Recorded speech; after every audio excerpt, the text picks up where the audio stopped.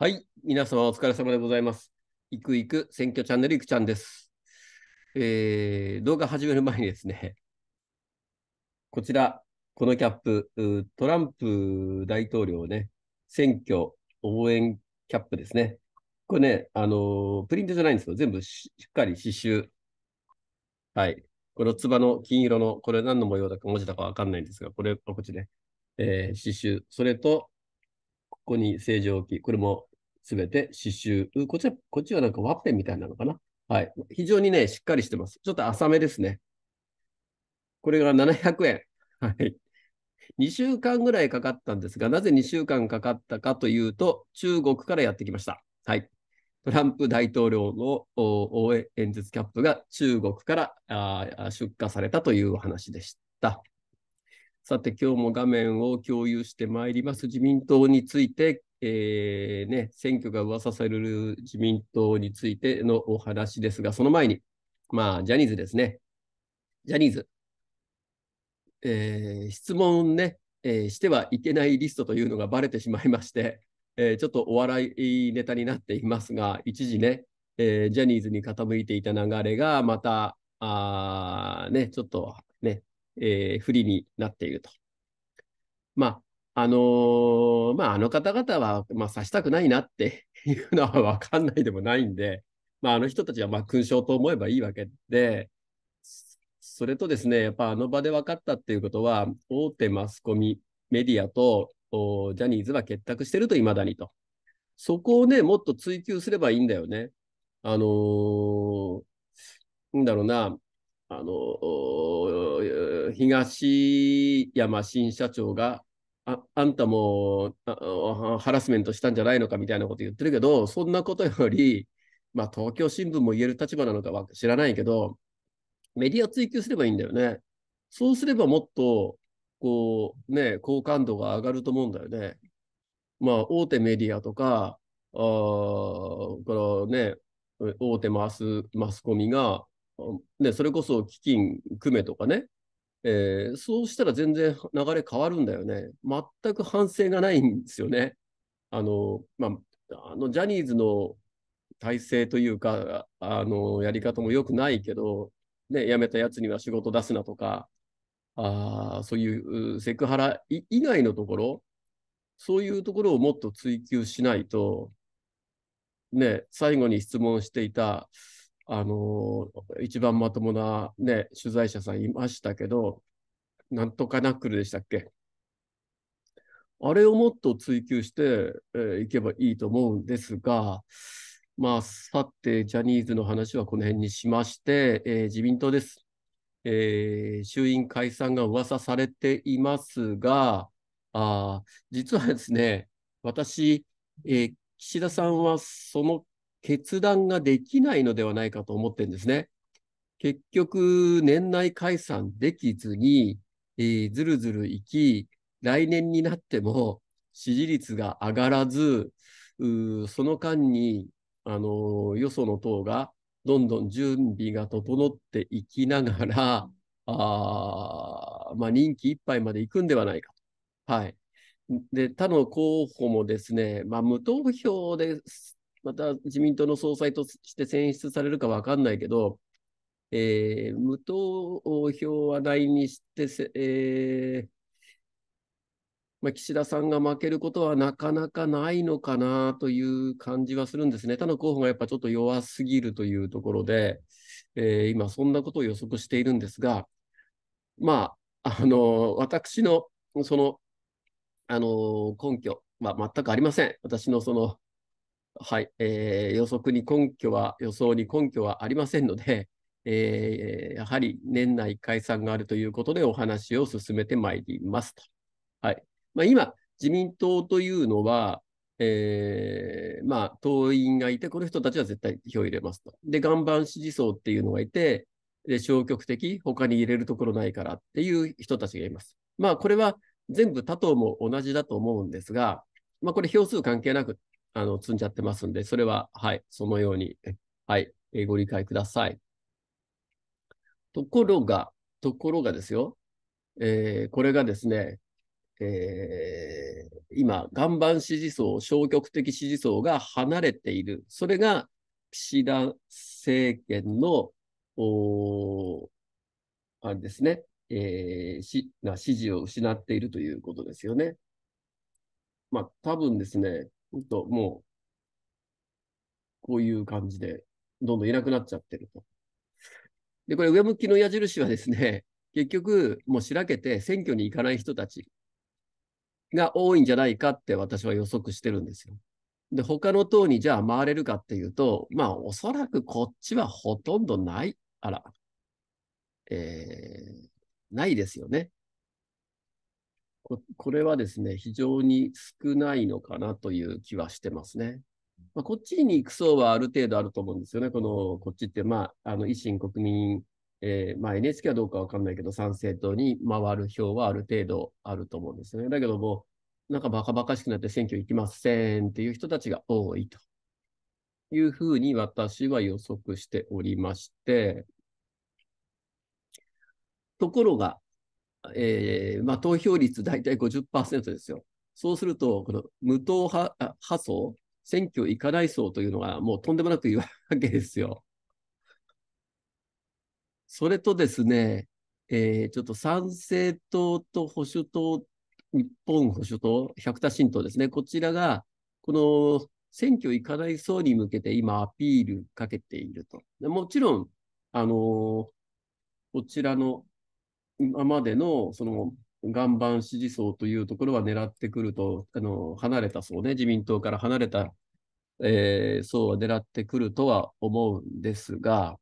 はい、ここが特に狙いに来ていると。で、あの、まあ、行くんでは、あある程度獲得獲得するのではないかなという感じはしてるんですね。ちょっと規制政党にちょっと幻滅してるところがあって、まあ、維新もここのところ、あのー、ね、えー、問題が多いですよね。宗男さんはじめ、なんか、あの、やっぱり、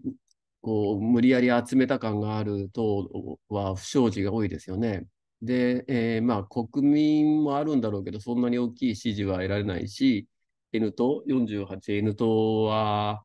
あまあ、ここも、まあ、最近あんまりいいの党内ごたごたや、あって、えー、まあ、生きづらいだろう。はい。あちなみにこの岩盤支持層と消極的支持層というのは、岩盤支持層はそうですね、安倍さんがいたから自民を支持していたと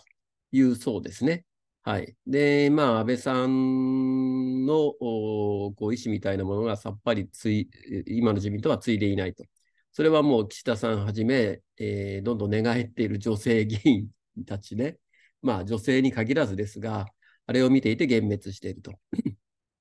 で、消極的支持層は、まあ、他に入れるとこねえから、じゃあ、まあね、投票行かないのもなんだから、自民入れるかと。まあ、しょうがないから入れるかという、そうですね。で、ここが今完全に離れているから、あ岸田、あの自民党、岸田政権の支持率が落ちているというふうに、えー、見ていまして、私もまあ消極的支持層です。はい。まあ、次どうしようかなというところですよね。でとその人たちがですね、私はこの参政党保守党に随分行くんではないかなと、まあ、考えます。私もですね、えー、そうですね、やっぱり維新はちょっとな、それから N 党もちっとも NHK のことやらないしな、それに国民はやっぱりえー、労働組合だしなって いうことを考えると、思うと、やっぱ参政党か保守党、まあ、次の衆院選にあればですね、えー、まあ、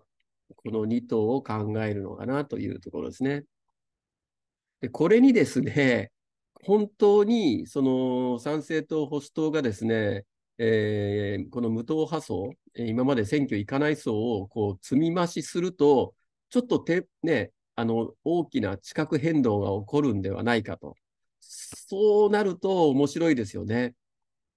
まあ、参政党は今まで選挙に興味がなかった、その、主婦層、女性が、あの、党員になっていたり、まあ、保守党はですね、えー、まあ、報道、あ、報道はされていないのか、ネット上では、まあ、ネット上やツイッター X では、まあ、有有名というか、はい、かなり支持を得ていますよね。まあ、1日2日で党員4万人集めてますからね、まあ、10万人行くのももう間もなくで、維新を抜くんではないかと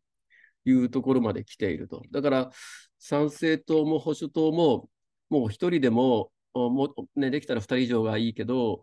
党員あの選挙、えー、あの当選か、当選することができれば、だいぶですね、えー、この国会の風景というか、自民党も焦ってくると思うんですね。そうすると、まあなんかこう、あのスキャンダル仕掛けられたり、いろいろあると思うんですが、多少のことがあっても、まあ、あの支持した方々はここを離れずにしがみついてい、えー、くと、いろいろ地殻変動があるのではないかと。まあ、やはりですね、えー、これあの、前回からここのシート使いますが、やっぱりね、最近の自民党はもうひどいですよね。これ、国民の方なんか全く向いていない。えー、自分のお財布、自分の懐しか気にしてないし、えー、ね、今時フランス行って、フランスのなんかエッフェル塔を眺めて景色の美しきことよとか、もう頭おかしいですよね。もうそう思うんですよ。私は金使っていったっていうことよりも、その感覚を疑ってます。本当にあと中国の部位をね、ベトナムですら引っこ抜いてるのに、そのまま放置する弱腰でしょ。あとですね、えー、まあ、難民受け入れ、日本全国が川口化しようとしているのに、さらに入れようとしているその態度。それから、えーねえー、首相が資産運用業に海外参入を促す方針表明ということで、ここになんかあの補助入れるらしいんですよね。だからここはもう外国に物をね、日本の金使って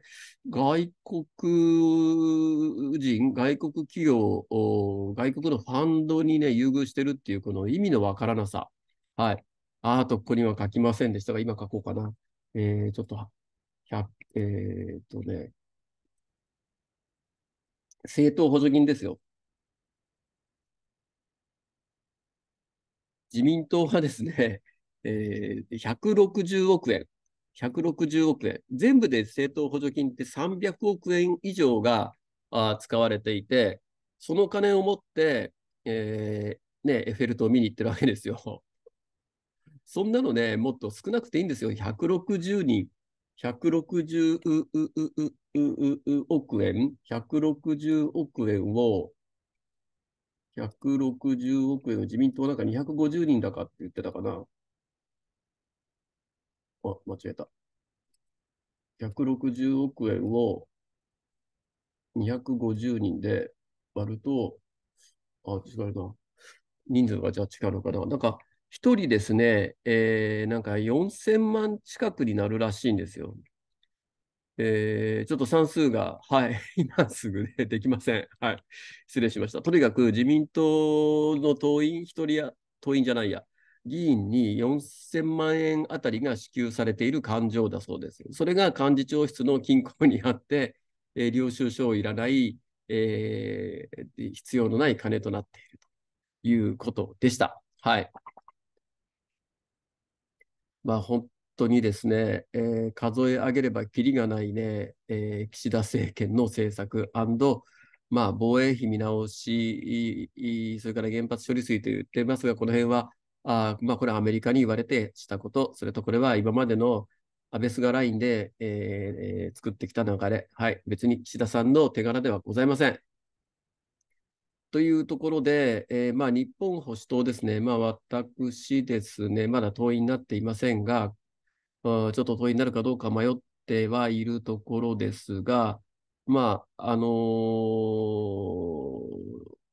ー、百田さんと有本さんのお話を聞いていたり、先日のアベアベマプライムを見たところによると、やっぱり、えー、保守として謙虚である先人から学ぶ、それとこれを次世代に、ね、いい、えー、素晴らしい日本を受け継ぐんだという、ね、え基本的な考えに立ち、えー、党をですね、やたら議員を増やすのではなく、長期ビジョンに立つと。はい。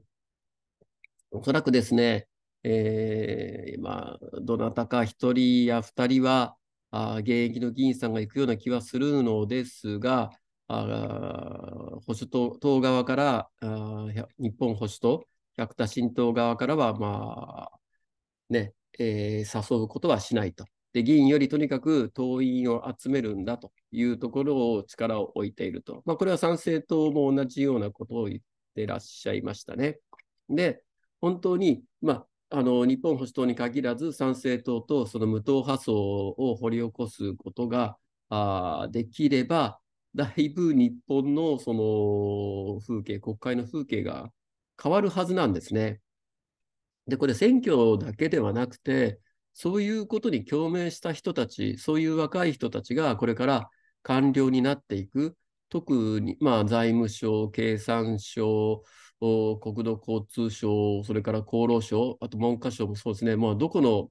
あの役所もそうですが、そういうところに新しい考えを持った若い人たちが入っていけば、あ日本の官僚の考え方も変わるかもしれない。で政治家と官僚と両方の面で変わっていけば、あ今のね、アホな岸田政権みたいなものが、あね、それから自民党政治、それと、えー、まあ、私ですね、これ、一応右左でこの政党を並べたんですが、まあ、こっちは簡単に言うと反日ですよね。で、こっちが、まあ、あの自国のことを考えている、ある程度。で、まあ、自民ももう反日ですよね。えー、反日、えー、新中、新韓、新北、新北だよね、ここね。この左側の人たちね。で、右側の人たち、あ、アンド、こっち反米ね。で、右側は、あまあ、じあの日本のことを考えましょうという政党ですよね。ということでございましてですね、はい、えー、まあ、この年内ですね、衆院解散があるかどうか分かりませんが、はい、皆さんはどちらに投票しますか、自民党に投票しますか、それともしませんか？ということで、えー、今回も締めてまいり、えー、締めさせていただきます。まあ、あのー、まあ、こういうネタを扱っていると、どうしても政治ネタを扱っていると、えー、アナリティクスを見ると、えー、私と同年代、むしろそれより上の方が多くてですね、えーまあ、若い方はなかなかこんな政治なんて興味を持たないのですが、まあ、あのー、ね、えー、勤め先、それから、あのー、息子さん、お孫さんと、そういう、えー、ね、お話をぜひしていただいて、今の日本がどういう状態になるのか、もう我々はいいですよ。もうそんなにね、この先長くないけれども、まだまだまだこの日本でやっていく、日本を担う人たちがですね、のために、我々世代がですね、えー、な川口市みたいなものばっかり残していいのかと。はい、日本のお金、税金をですね、えー、外国人のため、それから外国のファンドのためなんかに使っていいのかと。まあ、あの、岸田さんがその海外に行ってですね、本当に、まあ、あの、対チャイナを考えれば、ある程度お金を使ってくるのは仕方ないとは思うのですが、まあ、本当に有効にね、使ってほしい。それと、ウクライナですよ。ウクライナに20兆も使うの、本当に使うのか、もし使うのであれば、そういうことも争点にして、えー、国民に問うて選挙をしてほしいです。はい。ということで、えー、ね、しばらくこのキャップ使います。トランプ応援します。まあ、共和党が勝ったら今ね、民主党に全振りしている日本のね、財あのー、外務省も日本の政府もどうなるでしょうね。もう次のアメリカ大統領選挙はですね、えー、日本の衆院選挙よりもですね、日本の未来をに大きく左右するかもしれませんね。はい。ということで、本日以上とさせていただきます。動画最後までご覧いただきありがとうございます。はい、これにて失礼いたします。ありがとうございます。